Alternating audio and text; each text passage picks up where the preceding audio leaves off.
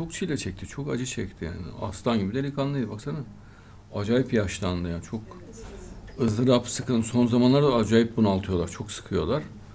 E, milletçe destek olalım da bir ferahça bu yollardan geçebilsin.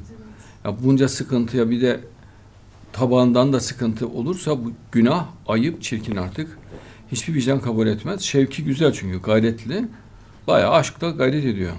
Ya böyle bir insanı ayağına çelme takarak hızını kesmeye kalkmak vicdanlı bir davranış olmaz. Ahlaki bir tavır da olmaz. Ya sen kendin git yap ya yapana destek ol. Değil mi? Hayır sen daha iyi biliyorsan gel tamam kabul. Ya bu şevk, bu heyecan, bu gayret varsa tamam. Yani Tayyip Hoca da bir şey demez gel. Kimse sana bir şey demez. Seni seçerim. E hayır ben yapamam. E o zaman konuşma. Yapamıyorsan konuşma. O zaman yapana değil mi? başarılı olana destek ol. Ayağına çelme ama Bir de Tayyip Hocam biraz daha sakin olsun ya. Sıkılmasın kendini. Boş yere sıkmasın. Millet seviyor onu. Öyle bir şey yok. De, yanındayız da ayrıca. Ya bunalacağı bir şey yok. Stresli olmasın. E, tevekkül olsun. Son derece rahat olsun. Yani işler tıkır tıkır gider. Hiçbir şey olmaz.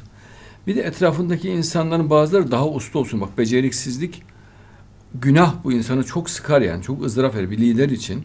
Etrafında beceriksiz insanlar olması çok bunaltıcıdır. Yani çok zordur. Ne desin ya şimdi Cumhurbaşkanı adam? Efendim mikrofon açıyor çalışmıyor bilmem ne araba bilmem. Yani bu çok sıkıcı ne desin yani? Ya bir görev veriyor adam yapmamış.